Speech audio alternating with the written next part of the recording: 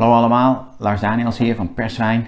Zoals gebruikelijk uh, een paar dagen voordat het nieuwe magazine uitkomt, uh, lichten we dat heel eventjes uh, toe.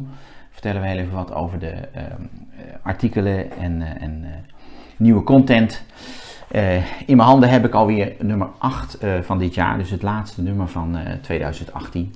Een bewogen jaar voor, voor Perswijn. In deze editie inmiddels bekende eindejaarsrubrieken. Um, onder andere Wijnhelden van 2018. Daarin uh, vertellen we wie uh, volgens ons uh, de wijnman, de wijnvrouw, de beste sommelier van het jaar is. maar ook het, het leukste wijngebied van, de, van dit jaar is volgens ons. En de producent van het jaar. Echt dingen voor, voor de laatste editie van, van, van een jaar. Um, verder onze top 40 van de meest bijzondere wijnen van, van 2018. Ehm, de meest bijzondere wijnen geproefd, waar dan ook, op welk moment dan ook. Dus dat kan zijn tijdens perswijnproeverijen uh, aan de Middenweg. Het kan ook zijn op reis, het kan gewoon thuis zijn, het kan op proeverijen in het land zijn, van alles. Een heerlijk arbitraire en hedonistische lijst die goed past uh, bij, dat, bij zo'n laatste nummer. Verder uh, veel redactionele aandacht in, in nummer 8 voor, voor Zuid-Afrika. Daar waren Ronald en ik in, in september. Ronald was in Bredekloof, een, eh, een gebied dat relatief onbekend is, maar waar heel veel potentieel is. Daar heeft hij een groot artikel over geschreven, heel veel producenten bezocht, heel veel wijnen geproefd.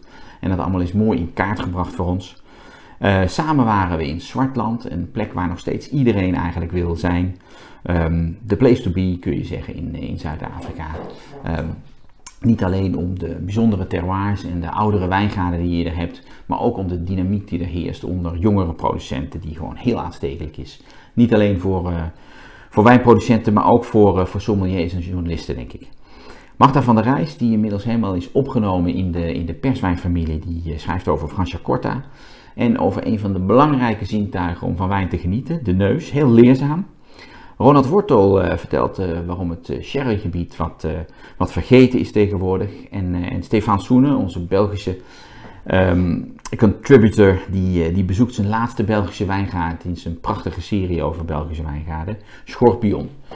Verder uiteraard Kees van Leeuwen, die legt uit waarom Bordeaux een beetje moet veranderen. En Ronald de Groot laat tegelijkertijd zien dat investeren in middenklasse Bordeaux nog steeds heel erg de moeite waard is.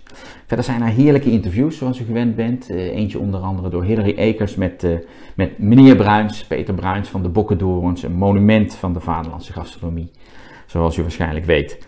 Verder uiteraard de vaste columns. We hebben heel veel uh, wijnen weer geproefd, onder andere wijnen uit Catalunya, ontzettend interessant. En uiteraard natuurlijk veel mousserende wijnen, waaronder champagne en Franciacorta, ehm, Trento Doc, dat soort wijnen uh, feestelijke, mousserende wijnen die natuurlijk passen bij zo'n decembernummer.